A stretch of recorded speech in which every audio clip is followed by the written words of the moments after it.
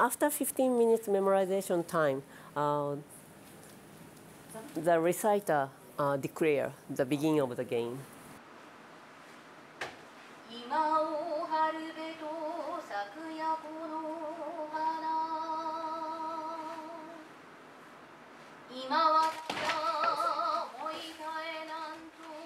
Así empiezan a florecer los jugadores de Karuta, con la declamación del primer poema de los 100 que conforman el Hyakunin Ishu, la antología de poemas que conforman la baraja de esta disciplina llamada Karuta. El juego es una mezcla entre arte, memorama y deporte. Consiste en tomar primero la carta que contiene la otra mitad del poema que se recita. 25 cartas de cada lado conforman el tablero y el ganador es aquel que se quede sin cartas.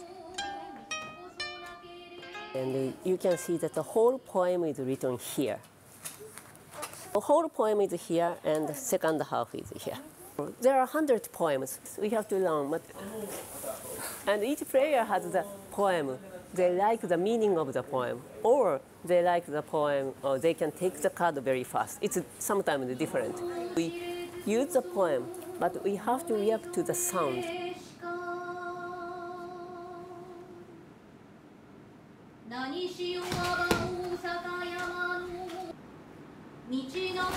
Se recita un poema al azar de los siete y el sonido de las palmas busca la otra mitad para completar el poema. La vista, memoria y un oído fino son las claves para tomar primero las cartas del lado del oponente y proteger su cacho de tatami.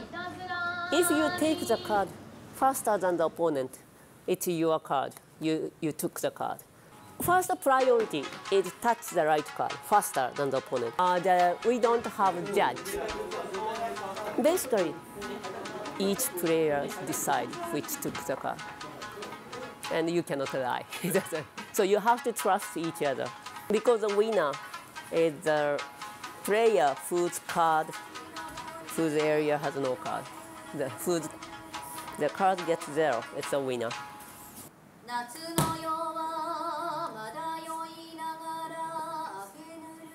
think it's kind of, well, we call it mind sports or brain sports. And this is a sport because if you have super great memory and you can memorize the position, but if you cannot move faster, you cannot win. Like if you recognize and if you can see, you can identify the card faster than the opponent, but you have to move faster. El histórico club de Karuta, Tokyo Azuma Kai, es de los más fuertes en el sector femenino. Tsubasa Tsubota es la actual campeona nacional. Una maestra, un programador, una ama de casa, una estudiante universitaria, comparten la pasión por el Karuta al igual que su director, Hideo Matsukawa, una leyenda viviente del Karuta que disputó la final nacional 16 veces y se llevó a la victoria en nueve ocasiones, obteniendo el título de campeón eterno del Karuta.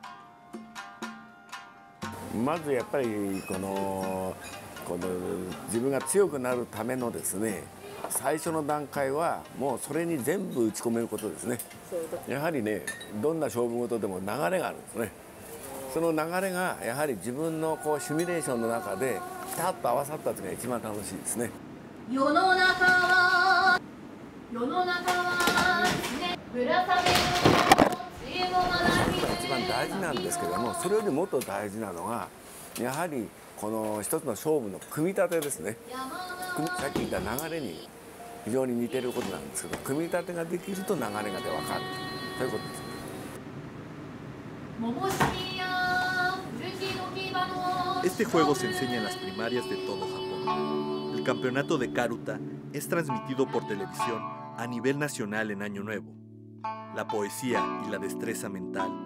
crean un juego que mueve a Japón.